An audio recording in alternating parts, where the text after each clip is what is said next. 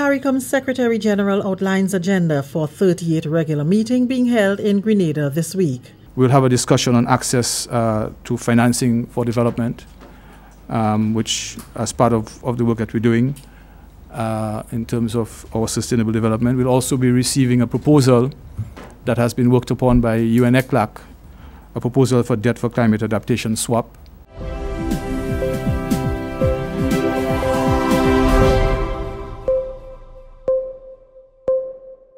With the National Report, I'm Leslie Ann Johnson Cornwall.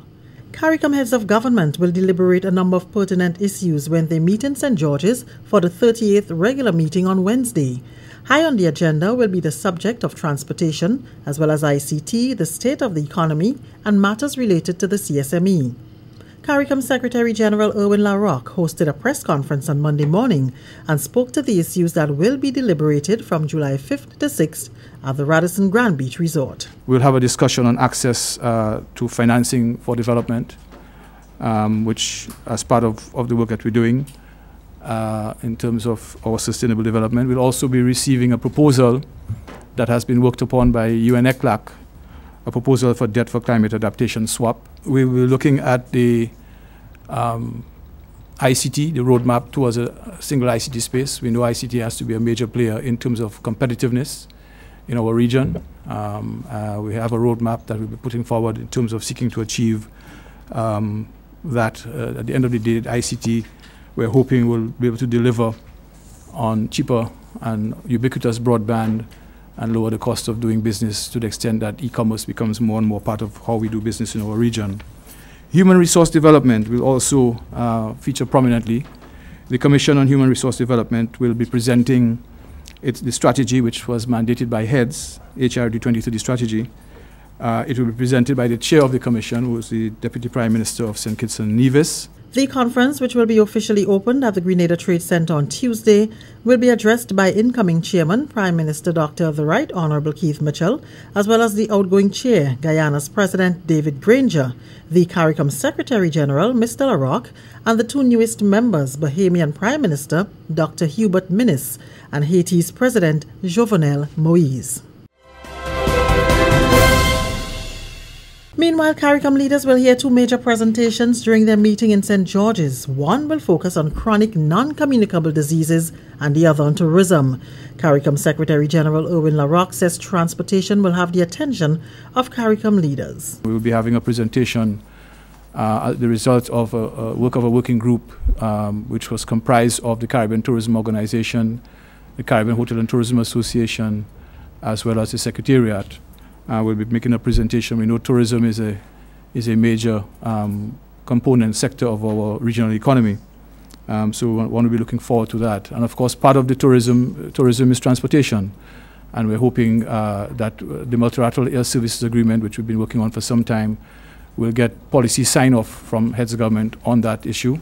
It will allow uh, greater ease of travel in the region um, in terms of uh, CARICOM owned uh, airlines.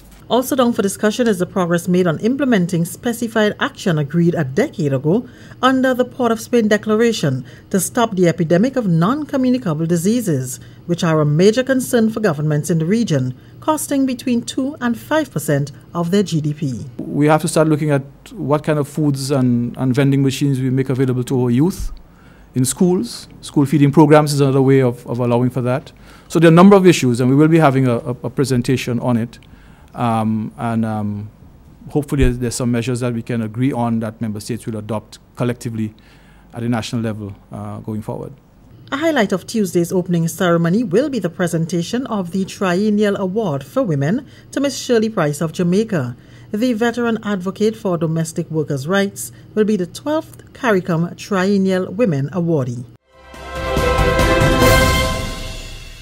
This is the National Report. More news after the break. The house was shaking, shaking.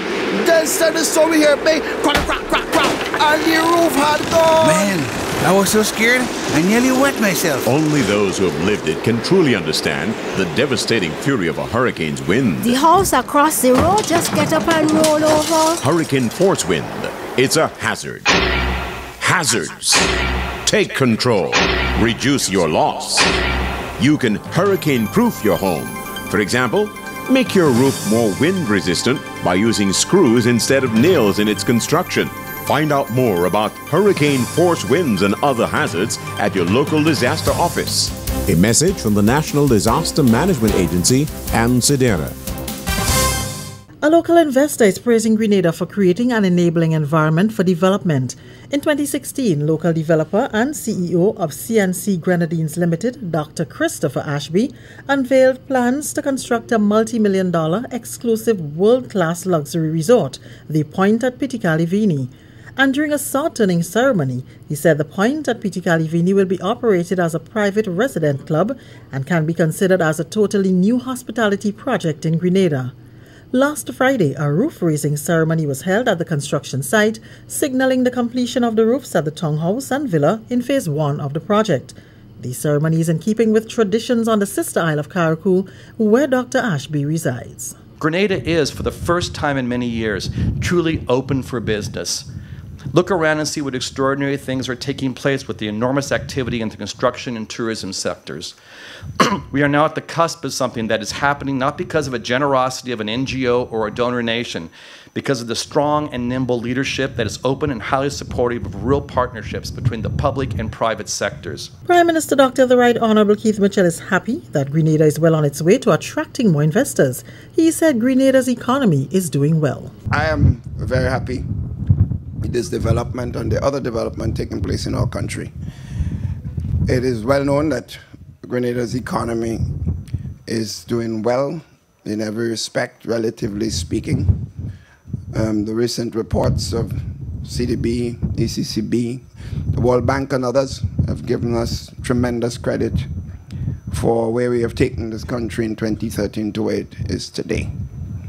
And the philosophy is, is clear we have created an enabling environment for private sector takeoff in every respect so that we notice in not only Grenadians like Brother Ashby, but other persons outside the region and in the region uh, coming here and investing.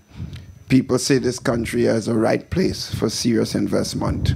When completed, the point at Petite Calivigny will feature condos, villas, and seaside rooms, exquisite dining options, and intimate indoor and outdoor entertainment areas. An independent commission on marijuana will conduct a series of consultations in all member states in the second half of this year. Many in the region have been clamoring for the decriminalization of marijuana for medicinal purposes. When CARICOM heads of government meet here this week, they are expected to look at the work on the commissions on reparations and marijuana. I am hoping that they can complete that these consultations in time for a report to come to heads next year. Um, but let's let, let the, it's an independent commission. It's not one that is staffed by uh, personnel from the secretariat or anywhere else. So let's see what they come up with.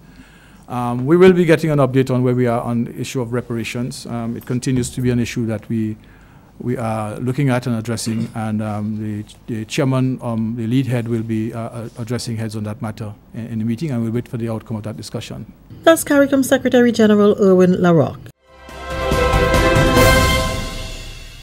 And that's the National Report. I'm Leslie Ann Johnson Cornwall.